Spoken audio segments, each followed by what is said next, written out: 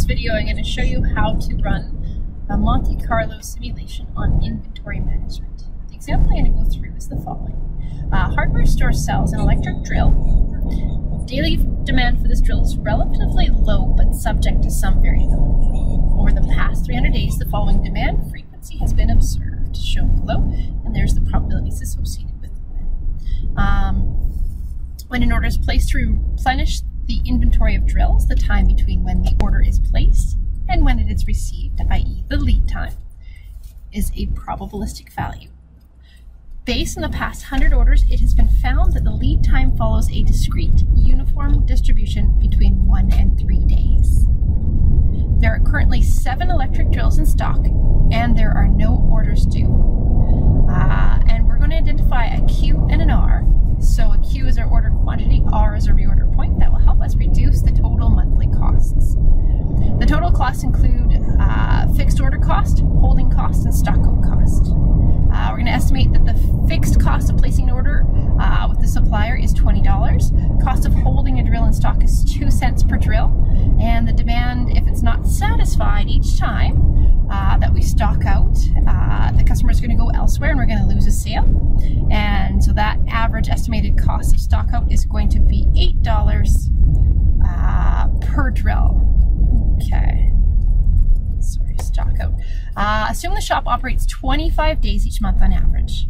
Uh, note that there are two decision variables, the order quantity and the reorder point, and two probabilistic components, the demand and the lead time, in this inventory problem.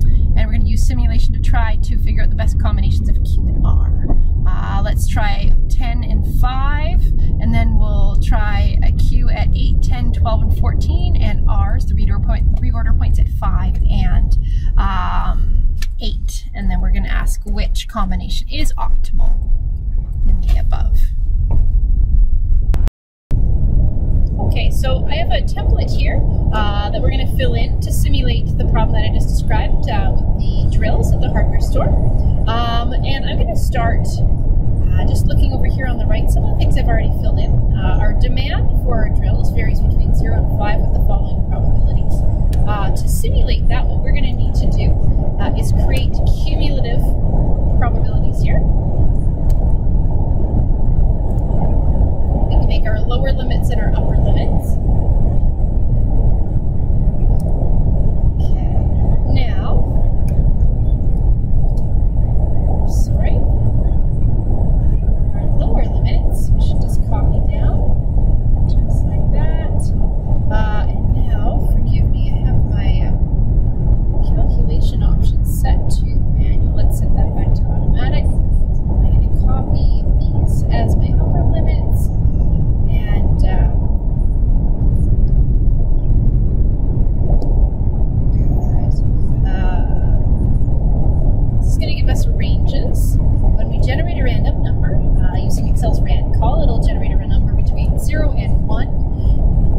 And if we land in these certain ranges, we're going to get Excel to give us these certain demands. What that'll do is ensure that uh, we will have a 5% chance of having a demand of 0, a 10% chance of having a demand of 1, and so on and so forth, because you notice that these interval widths are the same as our probabilities for these following demands, for the matching demands. Uh, cumulative distribution will always start with 0 and end with 1. You can also check that these probabilities here also add up to 1. They always should for a valid probability distribution. Uh, what I've already filled in too, I'm going to start with an order quantity of 10 and a reorder point of 5, and then I'm going to have a min lead time of 1 and a max lead time of 3. Uh, and um, I'm going to put in my holding cost at 2 cents, stock up cost at $8, and order cost at 20 uh, That was what was given in the problem. That's what we're going to work with. And now, uh, beginning inventory, we're told was 7 units. Units received, there's none due in. And um, that'll give us an available inventory of uh, the 7 plus the 0. Again, this is going to be our beginning inventory at the beginning of each day. These will be our units received each day. Uh, those will typically come in the day before, but they will hit the stock uh, start of the next day.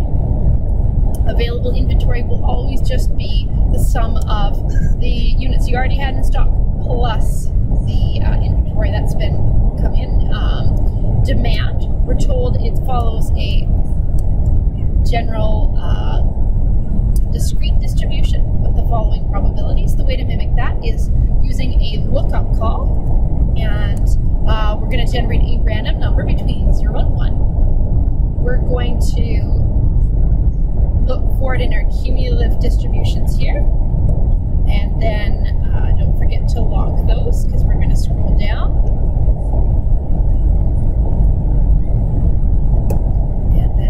return these demands. Again, lock those values. That will simulate those demands. Demand filled is going to be the minimum value between our available units and our demand. And our ending inventory is going to be the difference between what we had the start of the day and the demand filled. Stock out is going to be the difference between our demand and the demand we're able to fill. Ending inventory plus order, this is a special variable. Uh, and um, what I'm going to do here is I'm going to track all the orders that are due in as well as what I also have in stock to prevent us from over ordering. So sometimes it's going to take us up to three days to receive our shipment. What we don't want to do in the meantime is place a lot of orders when there's some inventory that is going to be in soon that we just need to wait for. It's not going to speed up the orders we've already placed. Uh, the orders the orders we place on top of orders would not necessarily arrive any faster either. So what we're better to do is just wait. So what we do is the following. Uh, for the very first time, we just grab our ending inventory because we know there are no orders that are due in. Next day, we will deal with this differently. Now, uh, we are going to place an order if our ending inventory plus order drops below our reorder point or is equal to our reorder point. So we're going to do an if statement here. If this value is less than or equal to our reorder point, which is in T12 here, me scroll over a little bit. Uh, then we're going to say, uh, sorry, forgive me here, we're going to uh, put in a 1 for yes, otherwise we're going to put in a 0. Uh, lead time, uh, we're told that it is a discrete uniform distribution. Best way to, or my favorite way, to simulate that is a rand between call, rand between 1 lock that. And three. Normally you can just do F4 if you want to lock values uh, in Excel. Don't have that option on this keyboard. So I'm just going to lock it manually with the dollar sign. Okay, arrive on day. Now we only want this value to turn up as uh, a valid day number if um, if a shipment should truly be coming in. So I'm going to test. If this place order is a yes, i.e. a zero, then we are going to say that the shipment is going to arrive, uh, we're going to take our lead time here, it's going to arrive on day two, plus one, plus one more to factor in that we won't um, truly have this order hit the shelves really till the next morning, if you will. So we're going to add one in this model. Okay, now uh, we're going to set it to zero if there are no shipments due or no shipments ordered that day. Uh, what I like about zero, instead of let's say putting a blank, it's still a number, but it's none of the day numbers that I have. Uh, so it's a number that I'll never kind of find in my if calls, if that makes any sense. Uh, okay, now, one of a simulation or time step one is uh, almost always going to be slightly different than the rest of the time steps. That's where you set up all your initial values, what you already had in stock from before, etc., etc. Uh, now, uh, what we're going to do for the next day, the beginning inventory is going to be the ending inventory from the previous day. That we are ready to copy down units received is going to be uh, a bit of a special call here. It's going to be a count if. We are going to go look through all these arrive on date. Now, a little bit of a funny thing we need to do lock the first L4, leave the next one variable so that you can scroll down. You're always going to start at the top of the list and look down up to including the date before the time step you're in. And we're going to look for two. We're going to say ask how many shipments are due on day two. And we must use a count if instead of a count, or sorry, instead of an if, because there could be more than one shipment arriving on the same day. And what we're going to go do is times it by our order quantity um, to allow that many units to arrive per shipment. So we could have even up to three shipments arriving on one day. That could possibly be 30 units received that come in that day. Copy that all the whole way down. Available inventory is still going to be the same as before. It's just going to be our beginning inventory plus our units received. Demand, same thing. Uh, it's just going to follow this demand distribution every day. Demand filled, same thing as well. It's still going to be the minimum of our available and our actual demand. Ending inventory, still going to be the same as well. Difference between our available and our demand filled. Stock out, same thing. Uh, difference between our demand and our demand filled. Now this uh, value a little bit different. Again, we're going to try to account for any orders that are going to be due in. We're going to take our ending inventory plus the orders due in from the last set. We are going to subtract um, the demand filled that day, which will deplete our stock. What we're going to add to it is uh, place order times by the order quantity. What that is going to do, if we placed an order the previous day, we're going to add that to our kind of theoretical stock the next day. It might not yet be in, but we want to account for it because we don't want to place too many orders that we actually don't need. Uh, let's say we order, um, place three orders while we're waiting for a shipment to arrive, then we're going to end up possibly with 30 or 40 units the next day. We don't need all those units. We just need to be patient. Uh, placing a whole bunch of orders is not going to speed up the current order that we're waiting for, if that makes sense. Um, okay, so this ending inventory plus order will account for all of the units due in as well as the ones you have on your shelf already or in your stock. Just going to copy that down. Okay. Beautiful. Uh, and now place order, we're going to copy the whole way down also. Uh, and lead time, copy the whole way down and arrive on day, we can also copy the whole way down take a quick look through and see if your numbers make sense. Make sure you're placing orders from time to time. Uh, make sure your stock isn't always stocking out. Um, okay. And now let's start doing our cost analysis. So now holding costs are going to be our ending inventory each day times our two cents per item lock that two cents. We want that to be true the whole way through. Stock out cost is going to be our stock out times our cost of stocking out, $8. Lock that also. Order cost is going to be if we place an order, so yes, it'll be one times the